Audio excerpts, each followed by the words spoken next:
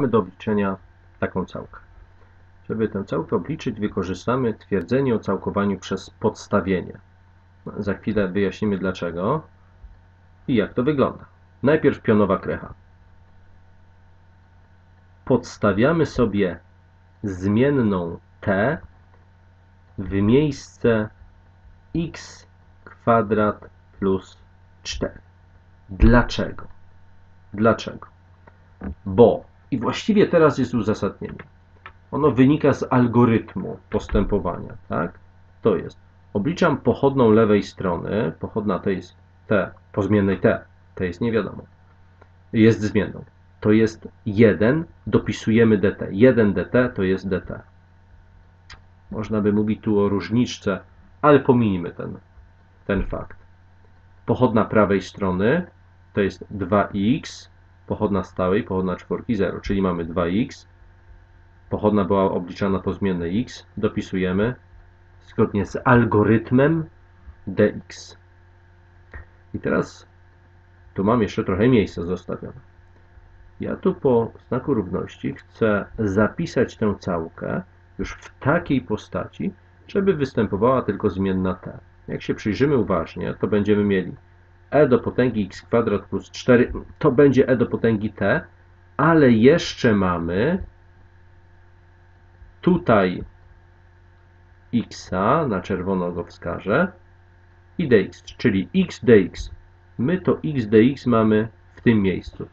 Zatem, jak podzielimy sobie stronami przez 2, to będziemy mieli 1 druga dt jest równe x dx. Zatem mamy całka x dx, to co jest na czerwono podkreślone, to jest 1 druga dt, jedną e, dt, dx zawsze na końcu piszemy.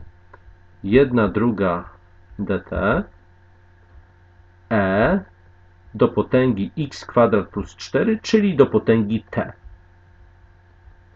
Tu jest mnożenie, oczywiście.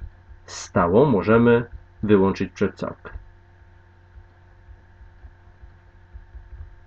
Czyli jedna druga razy całka z e do t. Musimy znać wzór. To jest e do t. Plus stała. Plus stała całkowania. Plus c. Oczywiście całka obliczone, tu już nie ma symbolu całki, ona została wyznaczona. Natomiast wracamy do podstawienia, do zmiennej x, czyli e do potęgi x kwadrat plus 4. x kwadrat plus 4 i na koniec plus stała c. Koniec. Całka obliczona. Ale jeszcze raz spróbujmy prześledzić to rozumowanie. Mamy do wyznaczenia, do obliczenia taką całkę. Korzystamy z twierdzenia o całkowaniu przez podstawienie, czyli podstawiamy zamiast x kwadrat plus 4t, obliczamy pochodną lewej i prawej strony. Dlaczego to podstawienie tutaj jest odpowiednie? Bo jak obliczymy pochodną tego x kwadrat plus 4, to wyjdzie nam coś związane z x dx, z tą resztą, która występuje w tej całce, z tymi kolejnymi czynnikami.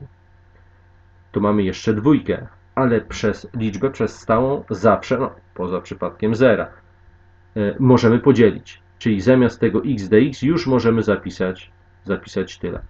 Całka, którą tutaj zwykle otrzymamy, będzie prostsza, będzie łatwiejsza w obliczeniach, e, przy czym tu trzeba być ostrożnym, bo nie każde podstawienie jest właściwe i czasem tu moglibyśmy uzyskać coś bardzo skomplikowanego.